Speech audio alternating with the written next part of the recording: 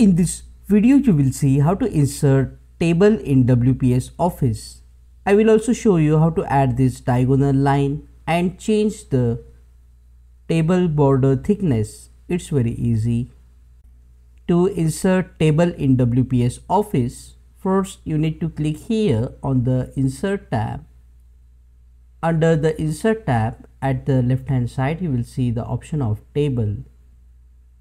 Click on this option and here you will see number of rows and column just hover your mouse to select the number of rows and columns and then just click on it. Now we have inserted a table.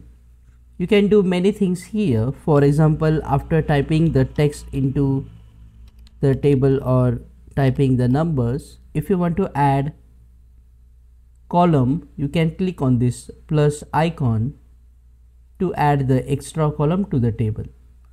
But if you want to add the column in between then just click inside the cell and under the table tools you will see here the option of insert left and insert right. So if I click on insert left the column will be inserted to the left and clicking on insert right will insert the column to the right similarly if I click on this plus icon here a row will be added. But if I want to add row in between then I will just click inside the cell. And here are two options. Insert above and insert below. So that's how you can add columns and rows.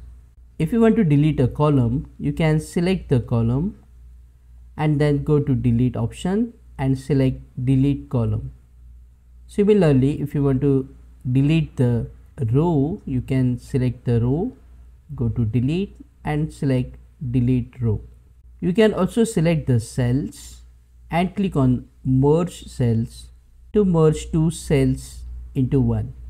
To draw a diagonal line click on draw table and then you can use this pencil to draw the diagonal line like this inside the cell.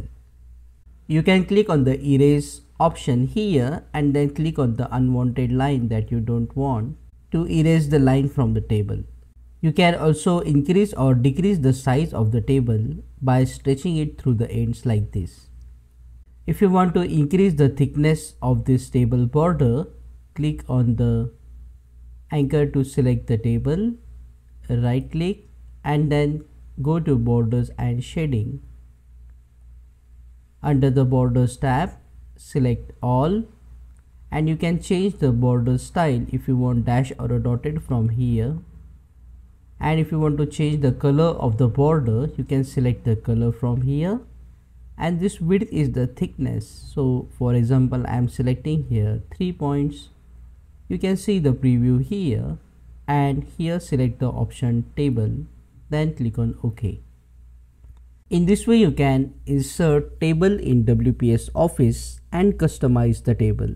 Click on that like button, comment below and let me know if this video solved your problem. And don't forget to check out these useful videos if you want to learn WPS Office quickly. See you again in the next one.